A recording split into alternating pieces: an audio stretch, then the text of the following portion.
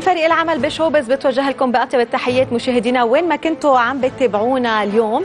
مثل العادة أبرز الأخبار الفنية المحلية والعالمية بحلقة واحدة ونشرة واحدة أكيد يوميا معنا. ورح نبدأ مباشرة مع العناوين. مريم فخر الدين كان زوجها يضربها جيك جيلان هول تعرض لحادث وأدخل المستشفى للعلاج.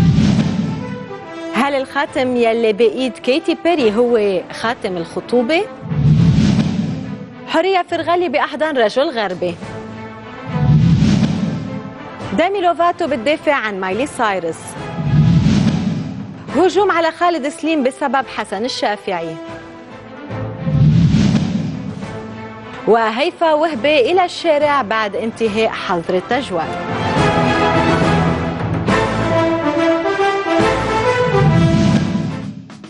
بخطوة جريئة كشفت الممثلة المصرية الأديرة مريم فخر الدين عن أسرار حياتها بمذكراتها وأبرزها أنه زوجها كان يتعرض لها بالضرب. التفاصيل منتبعها سوا.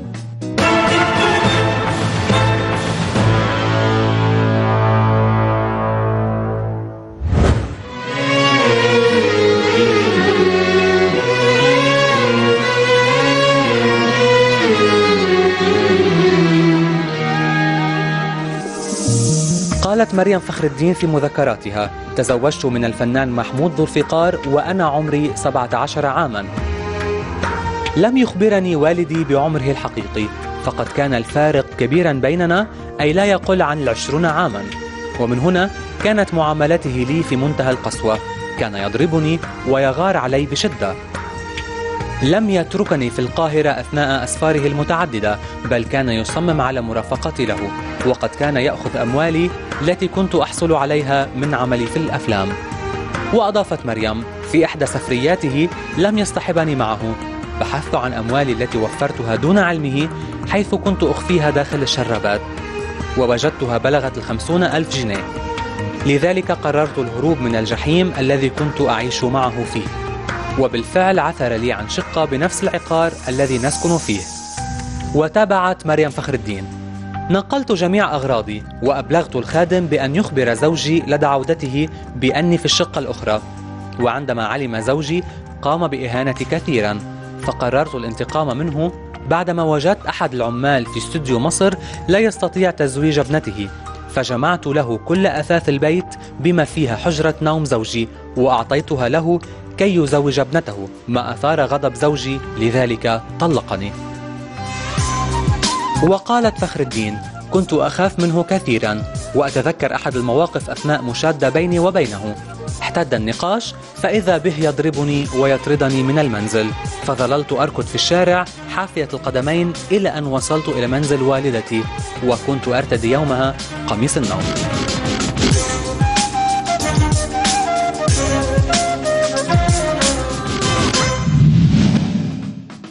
جيك جيلنهال تعرض لحادث وأدخل للمستشفى للعلاج منتابع سوا التفاصيل.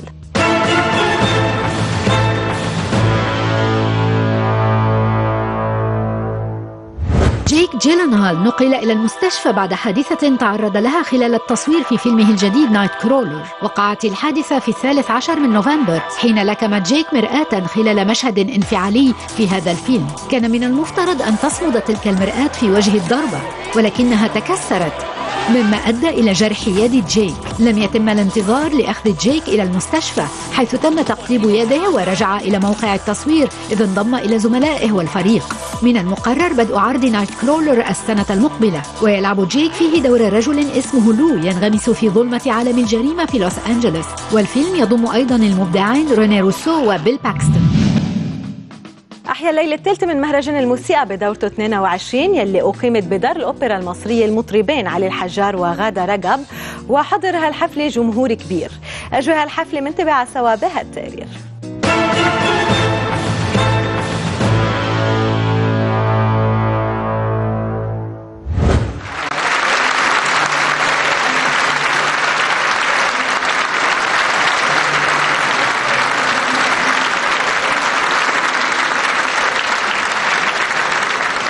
شهدت السهرة الثالثة من فعاليات الدورة ال 22 لمهرجان الموسيقى العربية حضور جماهيري كبير والتي أحياها كل من الفنان الكبير علي الحجار والفنانة غادة رجب.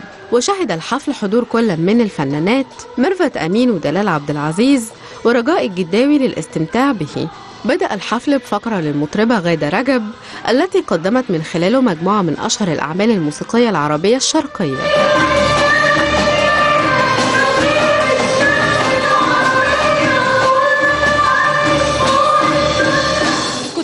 جدا النهارده ما أعرفش كان عندي حالة خوف غير طبيعية قبل الحفلة و... وكان نفسي إنها تبقى فعلا بشكل حلو.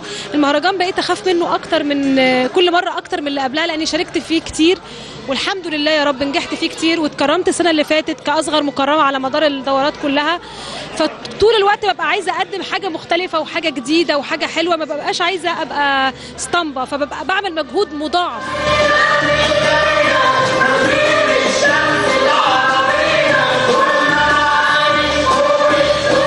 بالنسبة لمهرجان الموسيقى العربية السنة دي يعني بيتميز عن أي سنوات سابقة بإن إحنا أعطينا الفرصة الكبيرة لكل نجوم الأوبرا اللي هم الأوبرا كانت متبنياهم أصبحوا ممثلين في الحفلات وأصبحوا موجودين في المسرح الكبير وفي المسرح الصغير وفي مسرح اسكندرية وفي مسرح دمنهور.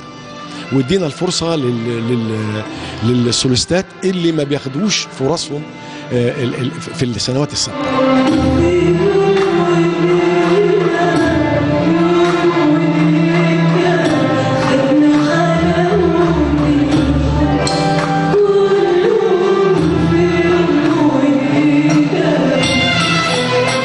حريص يعني ما فيش حفلة أقول لك حفلة مثلا فيها جمهور أقل يعني كل ما اسال على حفله الاقيها خلصت فالناس حتى زعلانة فبقول لهم أنا مبسوطة.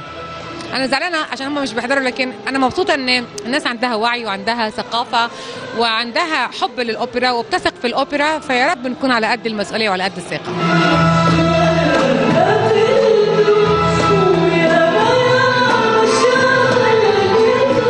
طبعا من عادة دار الأوبرا تقيم تدعو كبار المطربين في كل مهرجان. وزي كل سنة يعني يكون المهرجان عيد للموسيقى العربية والغناء العربي. والحمد لله والتوفيق من عند ربنا يعني. واختتم الحفل النجم علي الحجار بغنائه باقة من أعماله الخاصة التي قدمها على مدار مشواره الفني. إلى جانب بعض الأعمال الفنية القديمة التي سبق وقدمها من قبل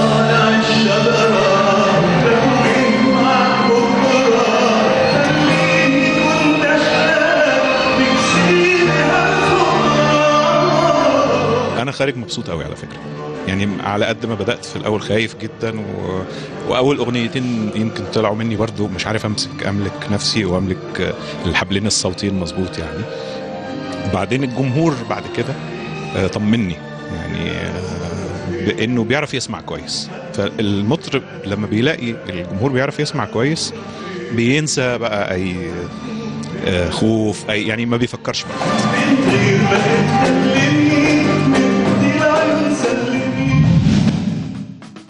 بدأت الفنانة اللبنانية هيفا وهبي بتصوير مشاهدها الخارجية الخاصة بفيلمها الجديد حلاوة روح بعد ما تم رفع حظر التجوال. المشاهد الخارجية تصور بمدينة 6 أكتوبر لتنقل بعد مواقع التصوير لعدة أحياء شعبية.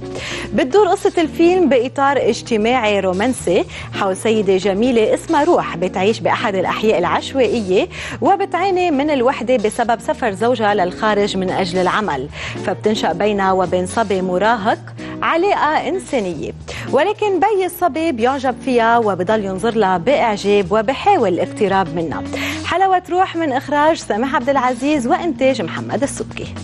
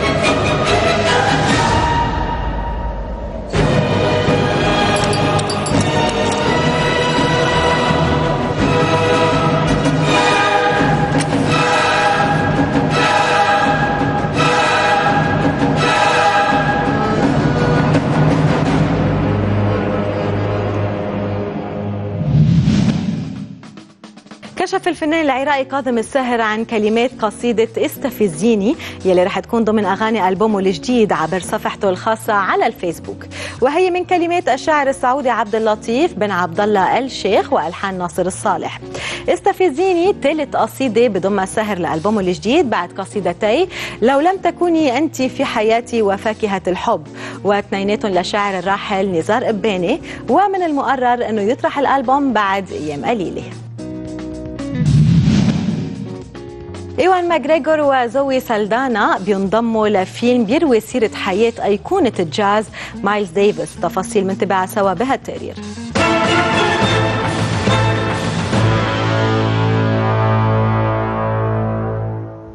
إيوان ماجريجور وزوي سالدانا سيمثلان في سيرة مايلز ديفيس الذاتية واسمه Kill the Trumpet Player تم اختيار النجمين من قبل دون تشيدل الذي يقوم بتجربته الإخراجية الأولى وهو يمثل أيضا دور أيقونة الجاز مايلز ديفيس. يوان يتحضر للعب دور صحفي في مجلة رولينج ستون يتعاون مع ديفيس ليساعده على استعادة حقوق موسيقاه. الدور الذي ستلعبه زوي ليس واضحا بعد. بحسب قول تشيدل فهو لا يريد أن يكون الفيلم قصة واقعية نموذجيا فهو سيعالج فترة قصيرة إنما مهمة من حياة مايلز. ماكغريغور سيظهر على شاشات السينما في ديسمبر بفيلم الكوميديا August Osage County.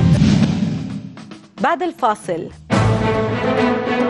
حرية فرغلي تقبل رجل أجنبي بشكل مثير. وهل الخاتم يلي بإيد كيتي بيري هو خاتم الخطوبة؟ لحظات قليلة مع الإعلان وبنرجع لمتابعة حلقتنا لليوم فخليكن معنا.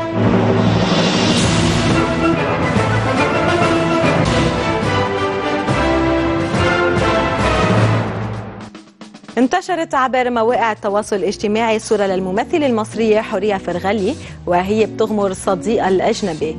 وما أن انتشرت الصور حتى انهالت التعليقات اللي انتقدت بمعظمها فرغلي على هالصورة خاصة وأنها ما بتتلائم مع العادات والتقاليد المصرية. من جهتها أكدت فرغلي أنه الصورة اللي نشرت هي بأحضان شاب أجنبي قديمة جدا حيث تم التقاطها من أكثر من 12 سنة لما كانت بتعيش بإنجلترا. وأضافت حينها كنا نحتفل بعيد ميلاد إحدى صديقاتي وهذه هي الحكاية. شن جمهور الموزع الموسيقى حسن الشافعي هجوم كبير على الفنان المصري خالد سليم إذ اتهموه بتقليد look نجم بقصة شعره. يذكر أنه سليم كان قد ظهر على خشبة المسرح الكبير بدار الأوبرا المصرية ب look جديد خلال إحيائه الليلة السادسة إذ قام بتخفيف قصة شعره من الجانبين وزيادة طوله من الوسط.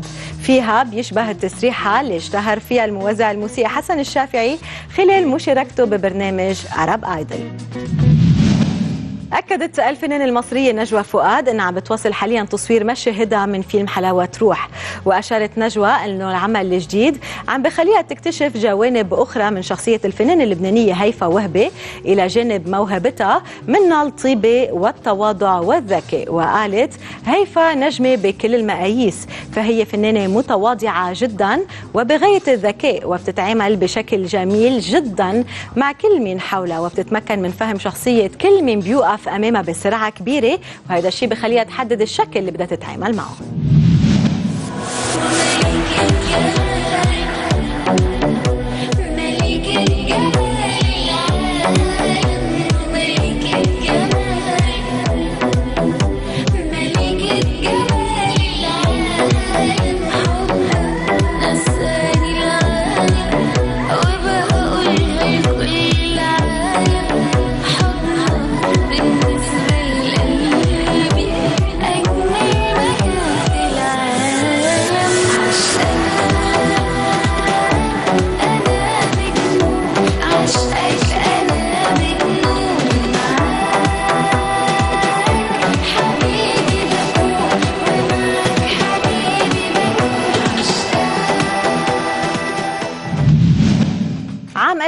2013 احتفل مهرجان البندقية السينمائي الدولي بعيده السبعين.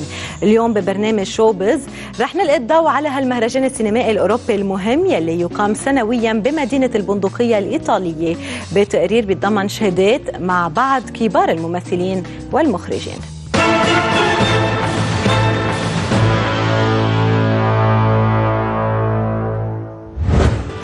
تشتهر إيطاليا بتاريخ سينمائي غني وبكونها موطن العديد من المخرجين الكبار كفيدريكو فيليني، برناردو بيرتولوتشي، مايكل أنجلو أنطونيوني وسيرجيو ليوني.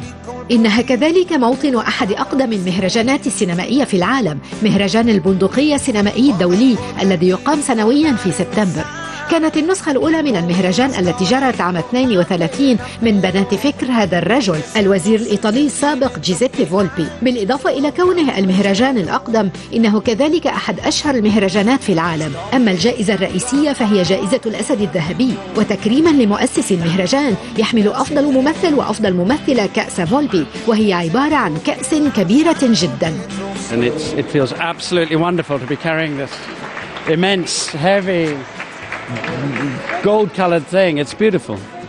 تنظيم مهرجان سينمائي مهم في مكان غير اعتيادي كالبندقية قد يسبب مشاكل المخرج الأمريكي جون لاندس الذي أخرج The Blues Brothers وعمل على كليب Thriller لمايكل جاكسون كان عضوا في لجنة التحكيم عام 2008 تجمع لاندس بالمهرجان علاقة حب وكراهية No, I fell. Um, but that's it. That's, by the way, it's a very Venetian thing to do. This is a city built for people to stumble. You know, in 1930, Robert Benchley arrived in Venice for the first time, and he sent a telegram to Dorothy Parker in New York, and he said, "Streets flooded.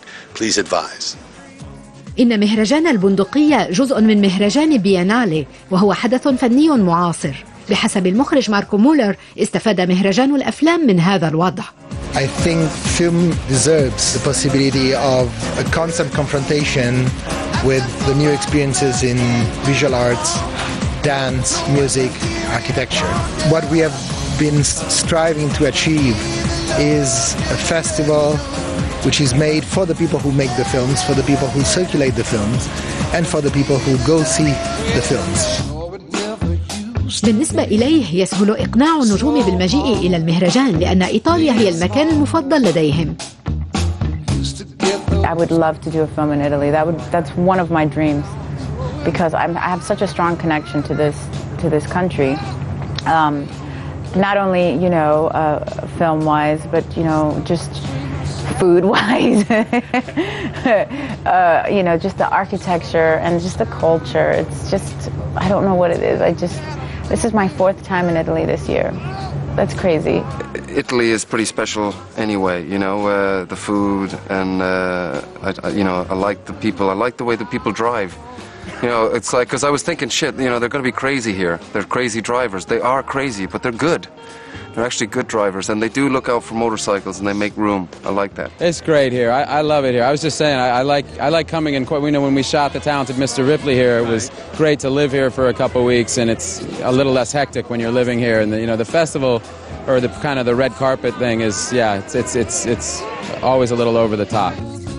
جورج كلوني يحب إيطاليا وهو ضيف دائم للحدث تعلم كذلك أنه في هذا المهرجان قد يحصل أي شيء خلال المؤتمر الصحفي I think I'm in love with you. George, please take me. Choose me, George. Please. Okay. Please choose me. George, may I kiss you, please? لكن جورج حافظ على رباطة جأشه It's hard when you take a big chance and it doesn't really work. It's always embarrassing when you take one real swing for the fences and it just falls flat. It's a good try though. على الرغم من هذه الأوقات الغريبة يبقى مهرجانا جديا يحب الإيطاليون الأفلام ويعشقون التحدث فيها بحسب الممثل الأمريكي ويلم ديفو هنا تكمن روعة المشاركة في مهرجان البندقية Nobody talks about films the way that they used to. But Venice is a place where these conversations can happen. And also they can empower young filmmakers, they can empower uh, filmmakers that might not immediately survive, you know, the heart, the, the marketplace, but with a little critical push, they could. I mean, it's very important.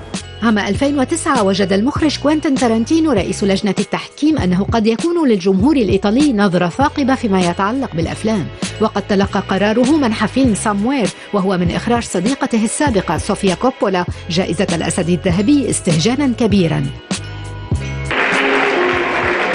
لكن تارانتينو لم يتأثر أبدا وقد بدا هذا واضحا من تصرفاته والشرح الذي قدمه.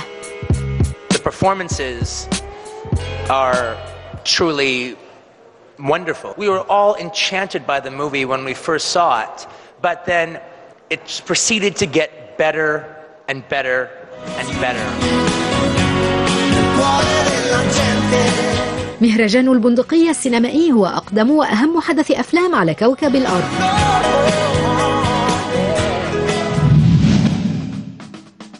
هل الخاتم اللي بتوضعه كيتي بيري بإصبعها هو خاتم الخطوبة؟ وليش حصلت المغنية ليدي جاجا على لقب سيدة العام؟ وهل قرر كاني ويست وكيم كارديشيان الانتقال للعيش بلندن؟ التفاصيل بهالتقرير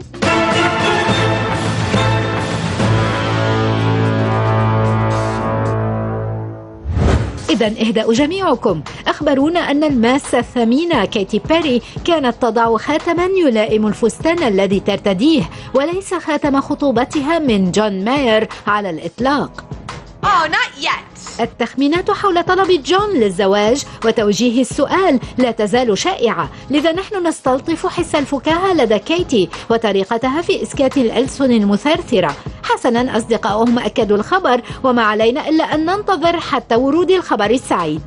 والآن أخبار ليدي جاجا ومن غير المفاجئ أبدا أن تحصل على لقب سيدة العام.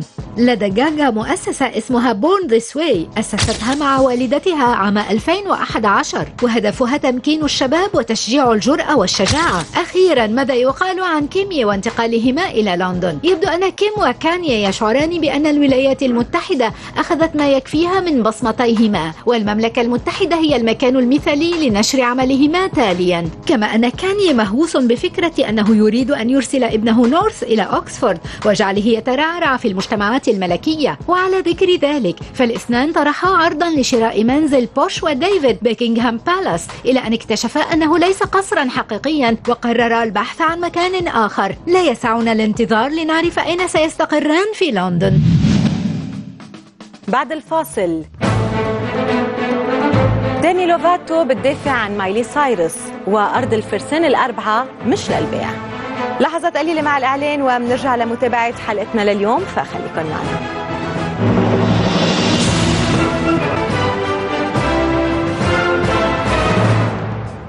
عودة لمتابعة شوبيز. Okay مؤتمر صحفي لفرقة الفرسان الأربعة بمناسبة إطلاق أغنيتهم الجديدة أرضي مش للبيع. كاميرتنا حضرت المؤتمر وعادت بها اللقاءات من تبعها سوا بهالتقرير أرضي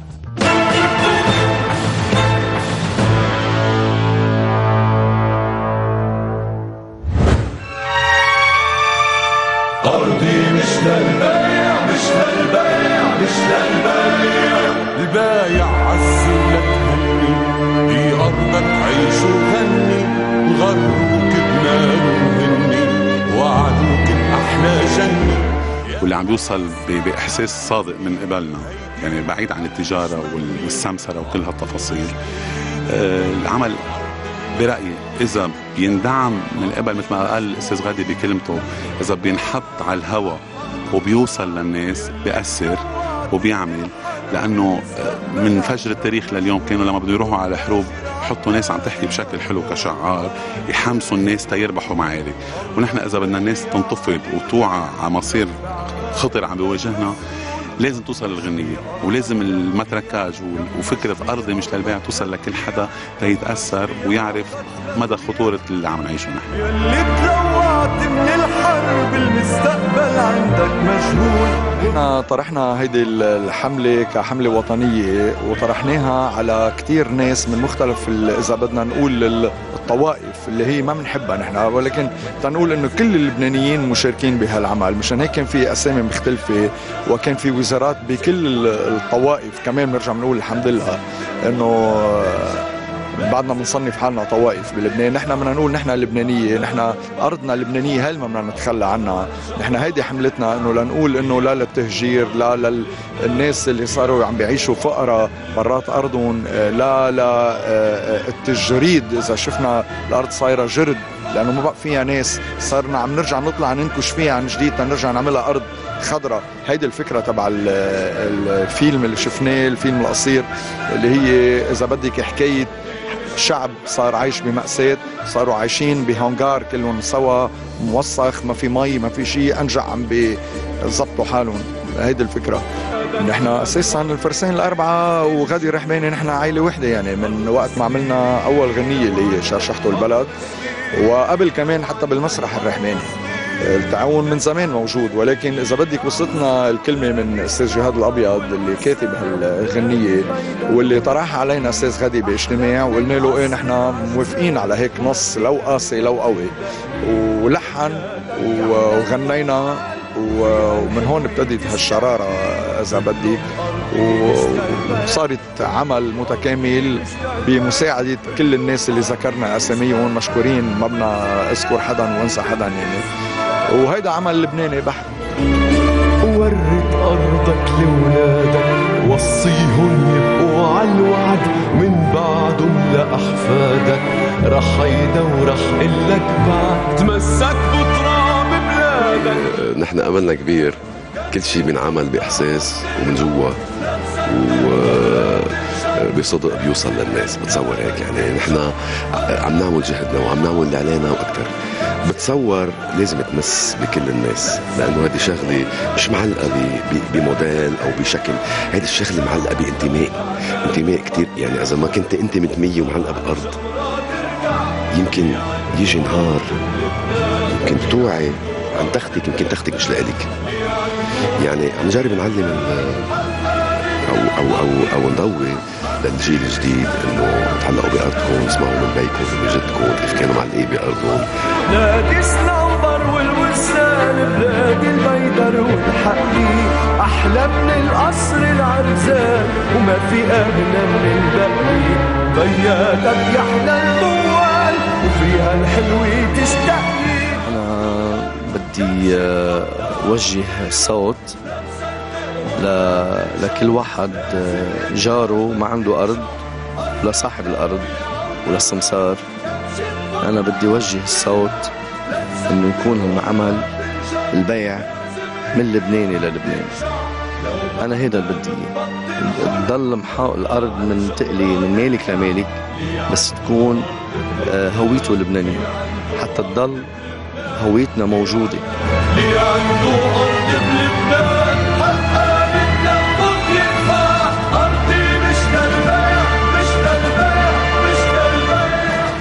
هيدا العمل كاتبه أكثر من سنة أرضي مش للبيع. آه، صار يقلب من جرور لجرور وصارت تكتر بيوعات الأراضي المشبوهة بين هلالين صرت أقول شو بدي أعمل بهالعمل؟ لازم أعمل شيء. آه، فكرت بكذا اسم مع احترامي للكل رجعت سألت حالي مين أفضل من الرحابنة وبالتحديد غادي تلفنت له قلت له يا غادي في عمل اسمه هيك هيك إذا هلأ من عمل حرام يتأخر أكثر قال لي بعت لي فاكس وهيك صار تتأخر شوي العمل كان لازم يكون قبل بوقت. بسبب آه، أرض الغجر عرضوها بالخليج ومهرجانات جبال ولكن بالنتيجة رجعت صور وكل اللي بتمناه من منكم كوسائل إعلام تركزوا بركي هالرسالة لأنه بالنتيجة هو عمل وطني أرضي مش للبيع هالدعوة للناس تتعلق بأرضها ما تطلع من تيابها اللي بيطلع من تيابه بيعرى القعدة مثل ما سمعتوا الكلام بالعرزال وبالفاي آه، تملك آه، حاول الواحد يكون عنده بيقولوا بالجبل الأرض أول مقتنى وآخر مبيع فحرام الواحد يبيع أرضه يلي ببيع أرضه آه، بصير غريب آه، بأرضه.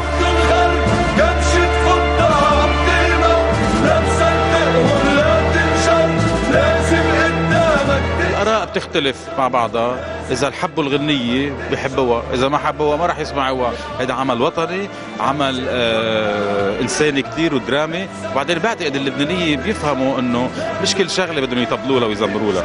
نحن ما عاملين هالعمل تنقعد نطبل ونزمر. لا نحن عاملين عمل في مشكلة كبيرة بالبلد صايرة. وعم نحاول قد ما فينا نوعي الناس. نحن مهمتنا نوعي ومش مهمتنا نحل المشاكل. لأنه مش شغلتنا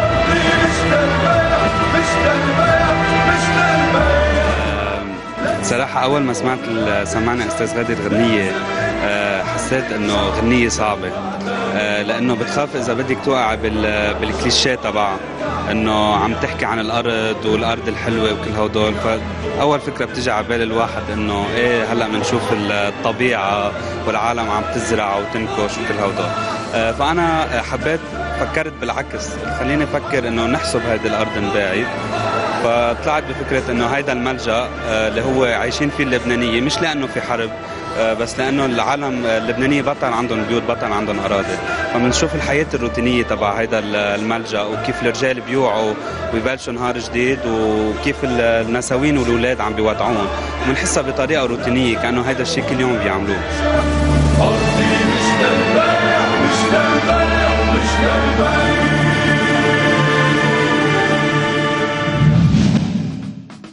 الممثلة ليف تايلر أطلقت كتاب حول آداب السلوك. ديمي لوفاتو بتدافع عن مايلي سايرس ودرو باريمور بتتحدث عن حملة. التفاصيل منتبعها سوا بهالتقرير.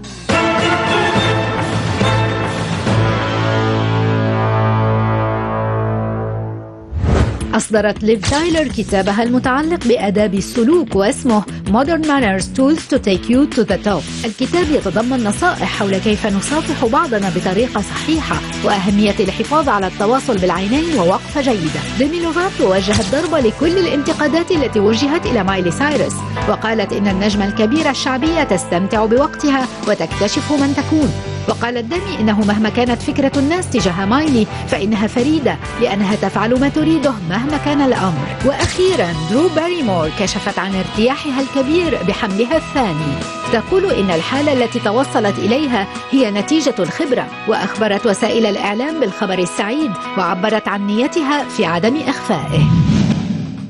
منتبه حلقتنا لليوم ومنتوقف هلأ مع أبرز أخبار الممثلين الأتراك.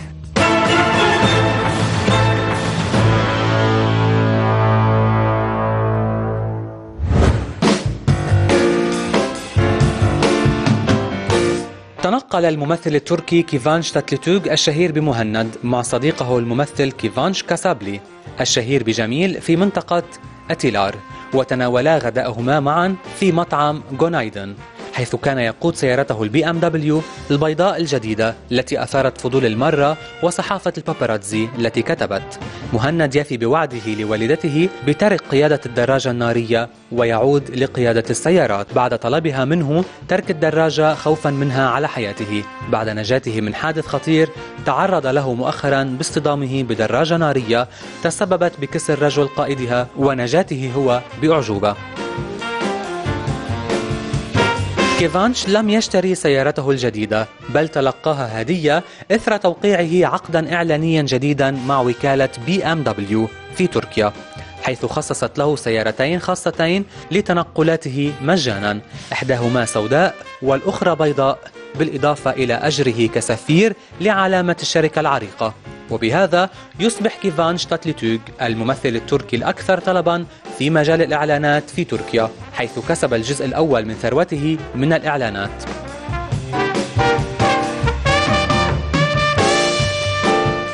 التقطت عدسات كاميرات الباباراتزي صورا للممثلة التركية سيرناي ساريلكايا المعروفة بالوطن العربي بدور نسيم. برفقة رجل أعمال في أحد مطاعم تقسيم. وتوجهت سيريناي بعدها إلى منطقة جيهانجير ولكن حين انتباهها لوجود كاميرات الباباراتزي حاولت الوقوف ضمن مجموعة من الناس لتضيع المصورين الملاحقين لها. بعدها عانقت سيريناي رجل الأعمال وودعته ورحل كل منهما بشكل منفصل. ولكن اللافت للأمر أن رجل الأعمال متزوج ولديه طفل مما أثار تساؤلات وسائل الإعلام.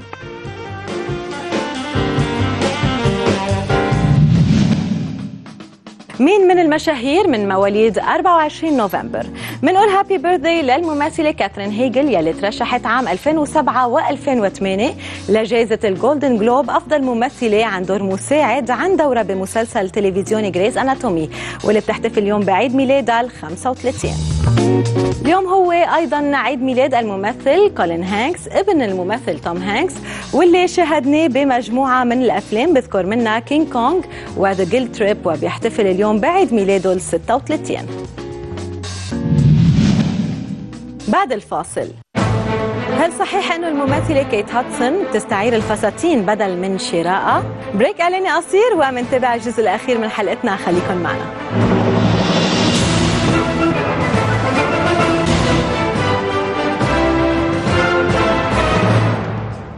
وصلنا مشاهدينا للجزء الأخير من حلقتنا لليوم وصار وقت نتعرف عن قرب عن الممثل كريس هامسورث يلي رح يخبرنا بدوره عن أهم المحطات بمسيرته الفنية وبحياته الخاصة. منتبع سوا هالتقرير.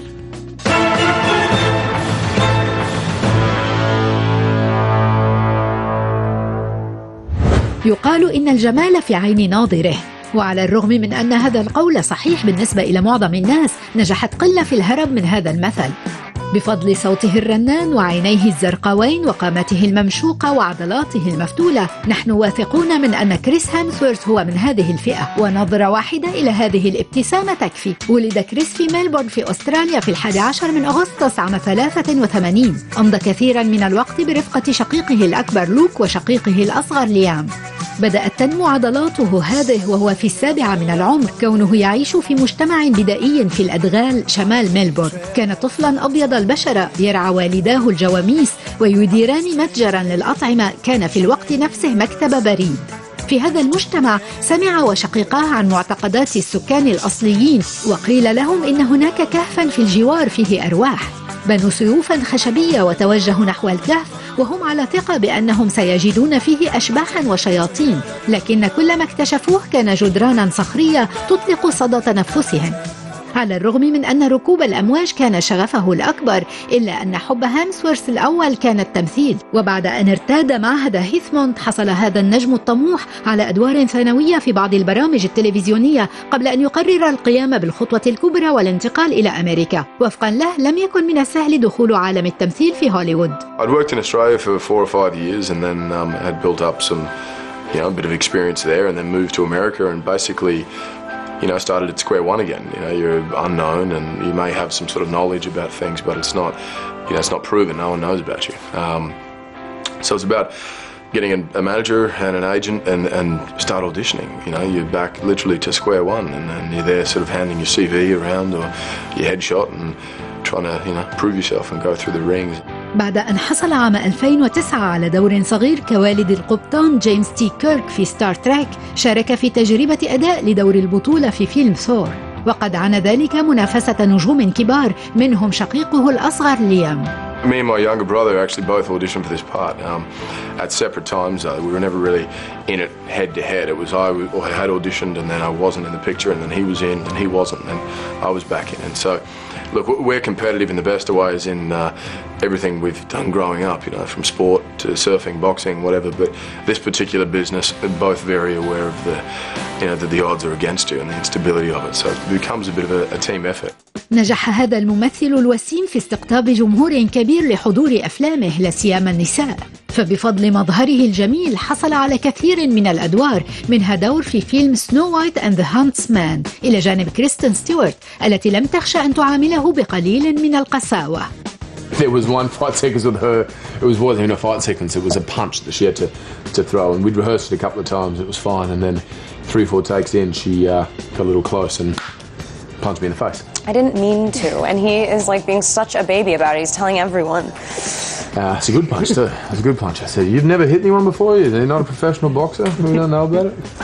عام 2009 تورط كريس وشقيقه الأصغر ليام في عراك بعد حضورهما حدثا في هوليوود لم تحضر الشرطة إذ نجح حراس الأمن في تفرقة الحشود منذ ذاك الحين تعلم كريس أن يضبط أعصابه فما عاد يستعمل قبضته إلا على الشاشة عندما كان لا يزال في أستراليا واعد طوال ثلاث سنوات الممثلة إيزابيل لوكاس لينفصلا بعيد ذهابه إلى لوس أنجلوس لكنهما بقيا صديقين حتى أنهما عادا واجتمعا خلال تجربة أداء فيلم Red Dawn. حتى التقى أخيرا زوجته المستقبلية عبر وكيل مواهب. عرفه إلى الممثلة الإسبانية إلسا باتاكي. بعد شهرين على لقائهما أعلنا أنهما يخططان للزواج وقد تزوجا فعلا في السادس والعشرين من ديسمبر عام 2010 بعد عامين رزق بفتاة أطلق عليها اسم إنديا. وككل أسترالي أقسم كريس على أنه سيعلم طفلته ركوب الأمواج ما أن تصبح قادرة على المشي. من العدل القول إن كريس هيمسورث يتربع إلى جانب كثيرين على القمة في هوليوود ويرغب الجميع في الاستفادة من موهبته وخبرته هل صحيح أن الممثلة كيت هادسون تستعير الفساتين بدل من شرائها؟ وهل قرر ديفيد بيكهام تطوير مجموعة الملابس اللي بتحمل اسمه؟ وكاري موليغان بتعمل على تغيير تعبير وجهها؟ منتابع كل هالتفاصيل بهالتقرير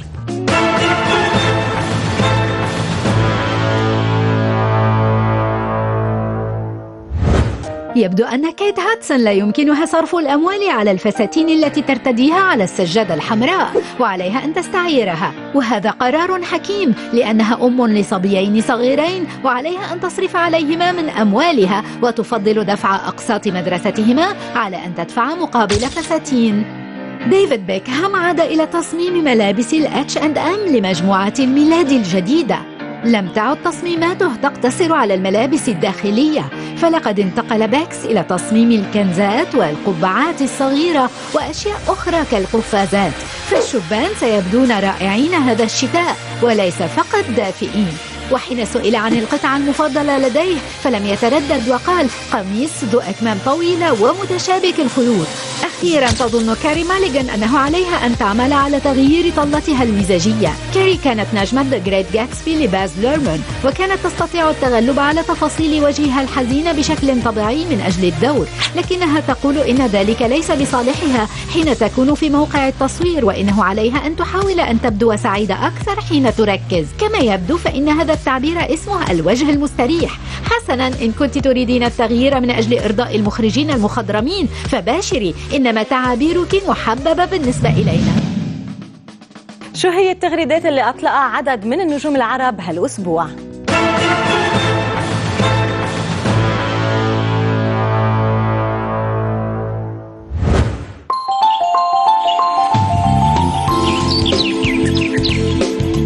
اللي استغردت وقالت أنا جاهزة لسهرة سعيدة مع أصدقائي المقربين استمتعوا بعطلة آخر الأسبوع عزائي مريم فارس قالت مش قادرة أوصف شعوري بهاللحظة. أنا وعم بشوف الأهرامات قدامي.